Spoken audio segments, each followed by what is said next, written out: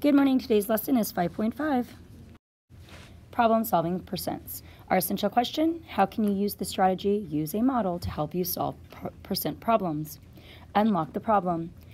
The recommended daily amount of protein is about 50 grams. One super protein cereal bar contains 16% of that amount of protein. If Stefan eats one super protein cereal bar per day, how much protein will he need to get from the other sources to meet the recommended daily amount? Use the graphic organizer to help you solve the problem. What do I need to find? What do you need to find? you need to find the difference between the recommended daily amount of protein and the amount of in the cereal bar. What information do I need to use? You need to use the recommended daily amount, which was 50 grams, and the cereal bar, which contains 16% of that. How will you use the information? Well, you can draw a model to find the amount of protein in the cereal bar and subtract that amount from the recommended daily amount. So the recommended daily amount is 50 grams. So this model is going to show that I need 1% of 50, right? So what I'm going to do, let me move it over here, is going to be, so if I do 50 over 100, right, I'm going to get 0.50, which is going to be 1% of 50.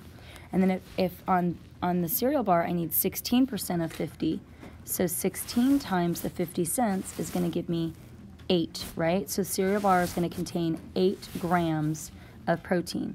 And then I take the 50 and I minus the 8. 50 minus 8, and I'm going to get 42. So 42 grams of protein should come from the other sources.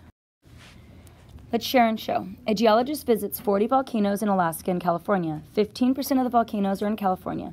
How many volcanoes does the geologist visit in California and how many in Alaska? First, we're going to draw the bar model.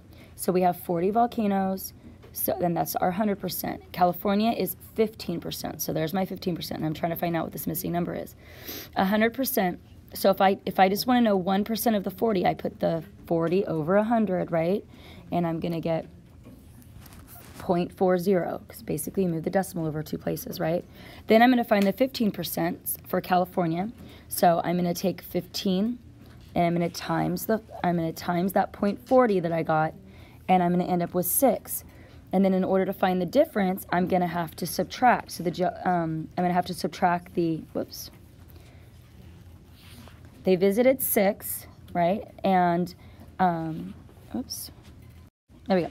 So they visited six volcanoes in California. Remember, there was 40 before. So if I take 49 minus the 6, then I'm going to get 34 volcanoes, right?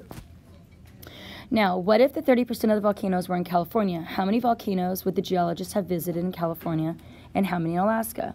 Well, they would have visited 12 in California and 28 in Alaska. Ricardo has $25 to spend on school supplies. He spends 72% of the money on a backpack and the rest on a large binder. How much does he spend on the backpack and how much does he spend on the binder? So if he spends 72%, right, basically move the decimal over 2, so I have 0.72. I'm going to multiply that times the 25. 7.2 uh, times 25 is going to be 18. And then I take the 25 and I subtract the 18 and I get 7. Okay. Uh, Kevin's hiking on a trail 4.2 miles long. So far he's hiked 80% of the distance. How many more miles does Kevin have to hike in order to complete the trail? So I'm going to take the 4.2, whoops. I'm going to take the 4.2 and I'm going to multiply it times 80%, basically 0.80, okay? And when I multiply that, I get 3.36.